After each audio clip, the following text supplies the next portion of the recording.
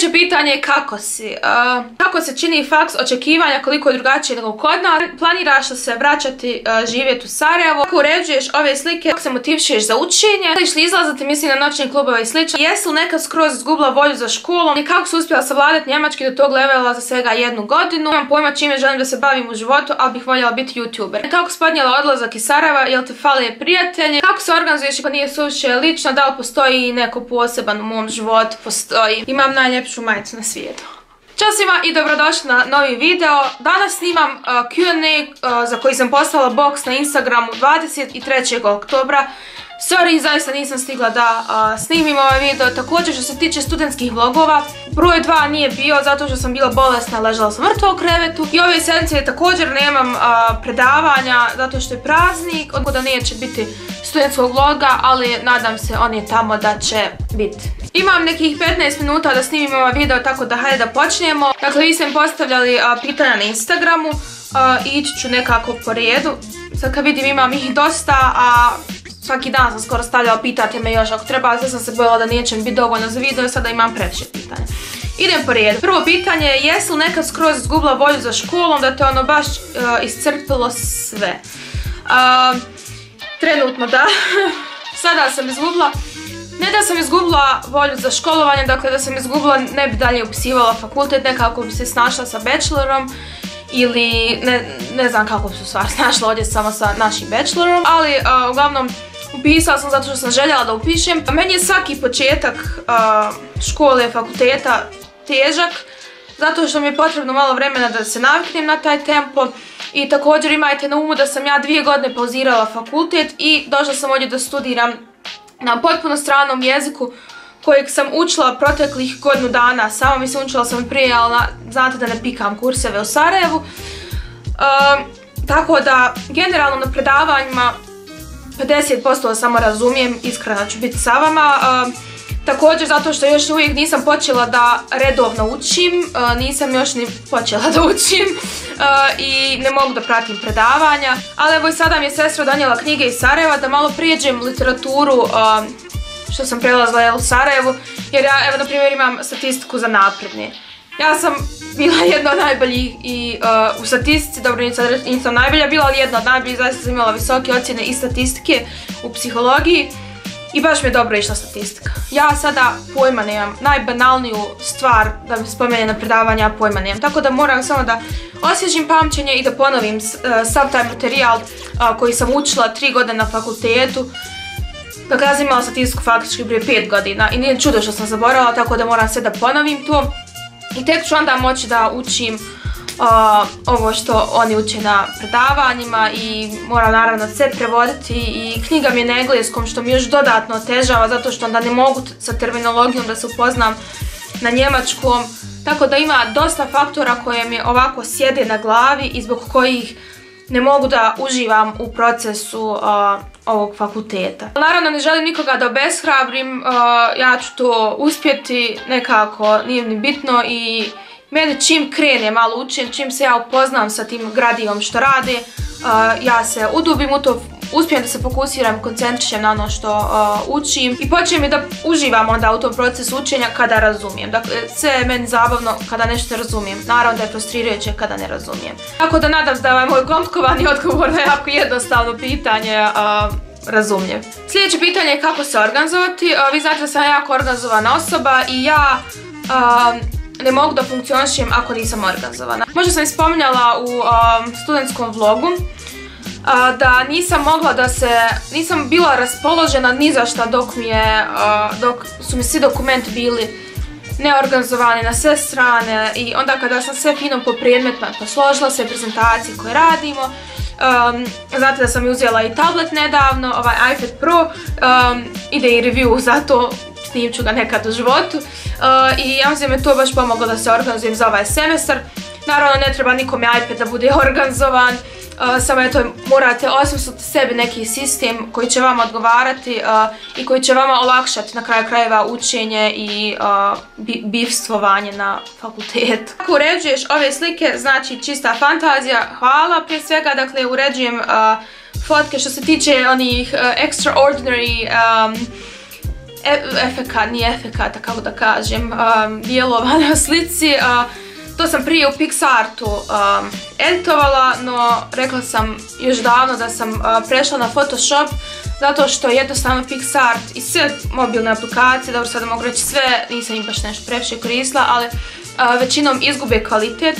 Također isfrustriram se iskreno kada dugo radim na fotografiji i onda mi kreša aplikacija a ne možete opet ući u aplikaciju da kao završite, za završite nezavršen projekat rad, fotografiju. Dakle, editujem te neke čudne momente na mojim fotografijama u Adobe Photoshopu, a što se tiče filtera imam svoje presete u Lightroomu. I da sam da dodam za editovanje, dakle igrajte se u Lightroomu, ne trebate ni kupiti presete, mislim naravno ima dosta lijepih presjeta kod naših djevojaka, kod Foxice i kod Azri Hajdar, spominjala sam vam sigurno na Instagramu.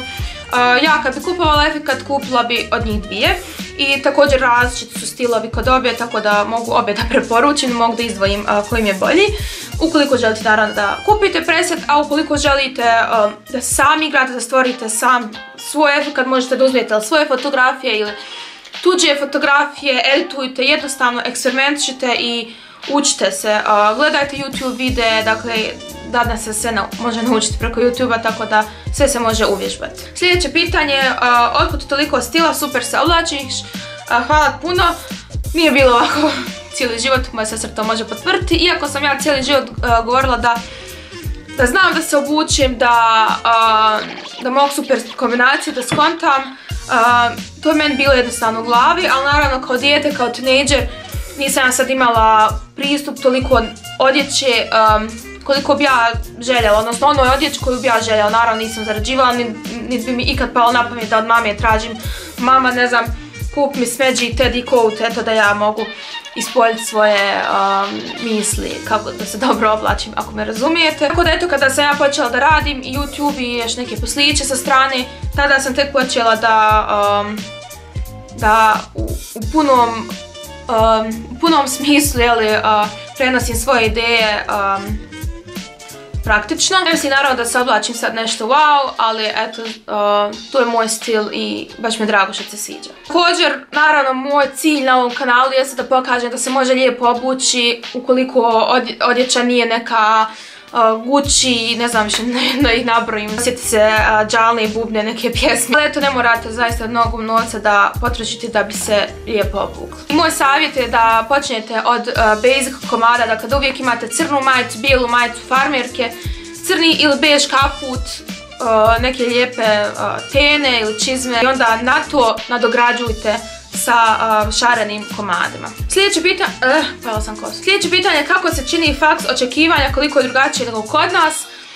pa meni je fino, sviđa mi se sistem, kako vi možete da birate sebi predmete, da sebi sklapate, kako je sve unaprijed isplanirano, dakle vi već unaprijed znate kad će biti koje predavanje, kada nemate predavanje, tako da možete da planirate neki odmor ili nešto tako.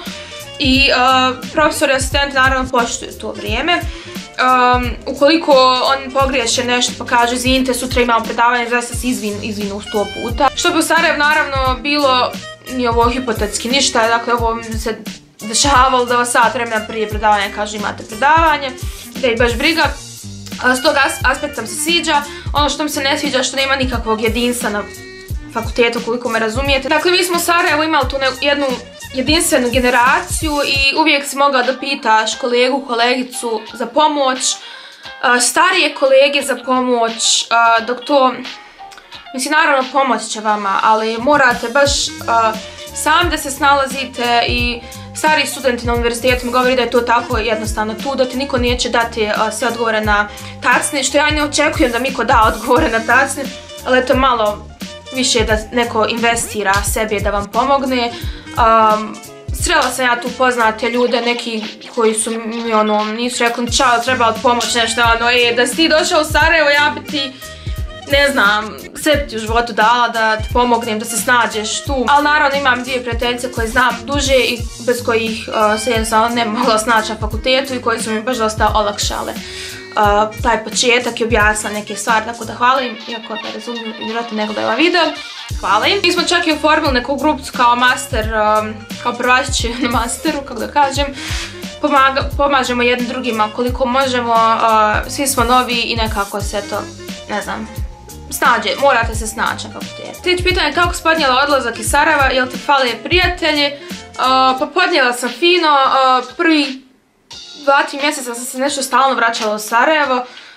nakon toga već sam, kada sam napravila neku svoju rutinu ovdje, već mi postalo, postajalo naporno da stalno se vraćam, da ispadam iz te rutine, kako god to zvučalo.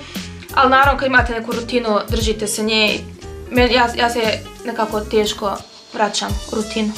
Bitno ovo šta pričam? Ali da, naravno da mi fali prijatelji, naravno da mi fali porodica, iako mi je ovdje većina porodice.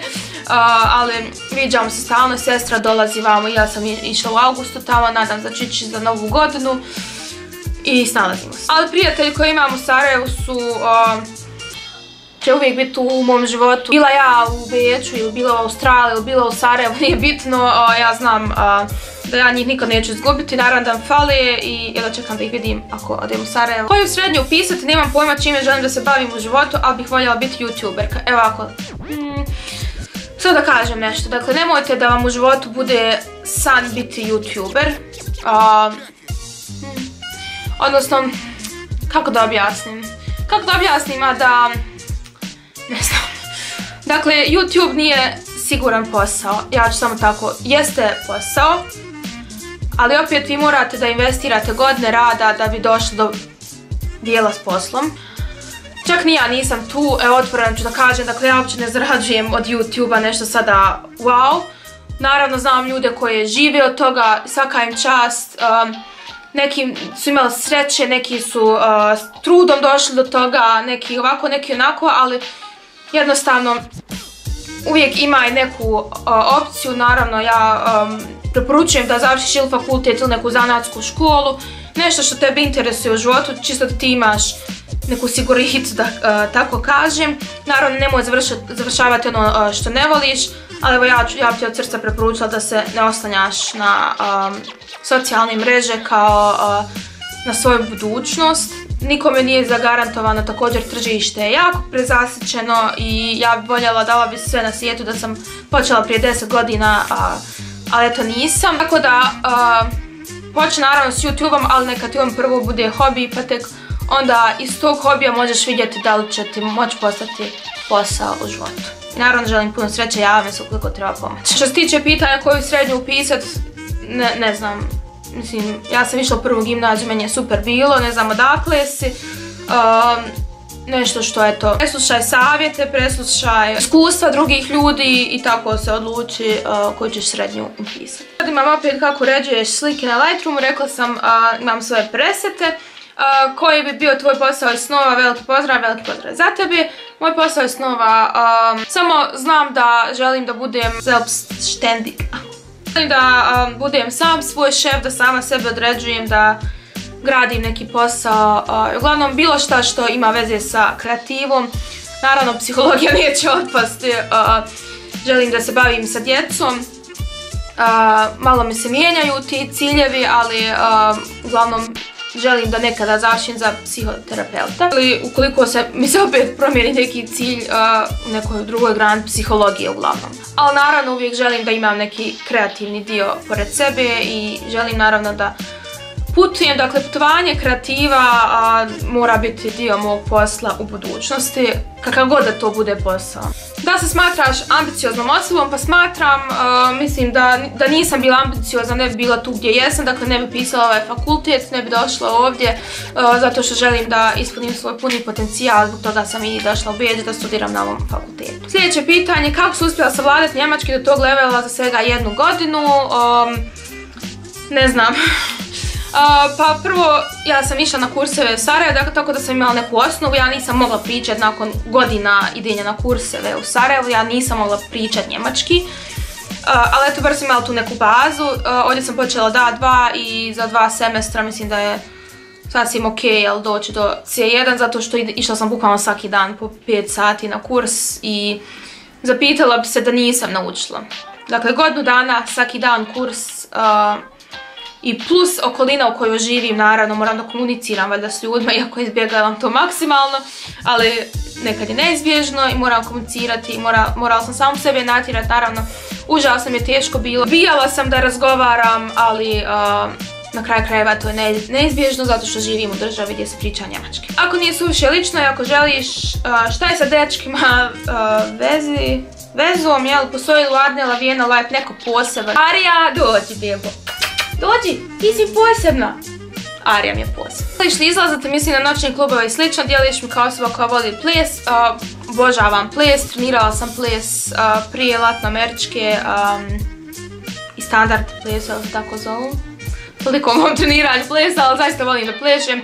Ne volim noćne klubove, mogu otići, ali na kraju krajeva da ih volim svaki dan bi išla, ali iskreno ne previše, ne volim zagušljive, zadrmljene prostorije. Tako da bilo šta što je na zraku, gdje meni nije vruće, gdje nije zadrmljeno, gdje mi oči neće ispast iz lobanje. Od dima, odvratnog, fuj. Ja sam za to. Sada imam jedno pitanje iz inboxa, čisto da ne zaboravim, kako se motivišeš za učenje? jako teško, prije svega, prije mi je to išlo jako puno lakše međutim sad već imam problema sa koncentracijom, da li je to do štipne, da li je zbog toga što mi je sve na njemačkom, da li je zbog toga što sam pa, napravila pauzu dvije godine s fakultetom, nemam pojma, ali ja kada se motivšem i kada zapnem, evo da mi tek tada krene da mi ide, samo mi je to problem započeti. Mada eto, našla sam neke tehnike i možda snimim video jer će biti jako dugo ovaj video ukoliko sad krenem da pričam o tome, tako da pišem dole ukoliko želite da vam snimim metode za produktivnost ili metode za učenje. Sljedeće pitanje je kako si? Preživljavam, ne mogu reći da sam najbolji, ne mogu reći da sam najsretnija osoba na svijetu u ovom trenutku, ali bit će bolje, nije se palo u vodu. Rekla sam da nekim stvarima ne želim da pričam. Glavno, hvala na pitanju kako si ti i kako ste vi svi, pišite slobodno komentare u inbox, na mail, nije bitno, imamo da se ne pitam ovo dovoljno u ovo vrijeme ja mislim da je to jako potrebno. Znači pitanje da li je za faks potreban B2 kurs njemačkog plus koji program koristi za uređivanje slika. Za slike sam već rekla, za faks je sada su povećali na C1, čak i za moj fakultet bilo B2, naravno do one godine kad sam ja, prije nego što sam ja upisala, promijenili kad sam ja upisala. Tako da za većinu fakulteta je potreban C1, naravno provjeri, odnosno za većinu mastera, a za bachelor provjere, dakle provjeravate za svaki ocijek posebno jer svako ima svoja pravila, provjeravate na strancama Univin, VU, TU, ne znam koji fakultet želite da upišete. Planiraš li se vraćati e, živjeti u Sarajevo? E, ne planiram. mislim da bi to bio veliki korak unazad u mom životu. Tako ima svoje razloge i nemojte da suđujete druge ljude na osnovu toga što su pobjegli svoje države kakve sam komentare dobivala nikad ne znate šta se dešava u tuđem životu. također ja sam ovdje došla da upišem fakultet, da kao što sam rekla ispunim svoj puni potencijal i povratkom u Sarajevo mislim da bi samo se vratila unazad. Kako se organizuješ i kako izgleda jedan tvoj dan? Kao što sam rekla, kada sam neorganizovana, užasno mi dan izgleda.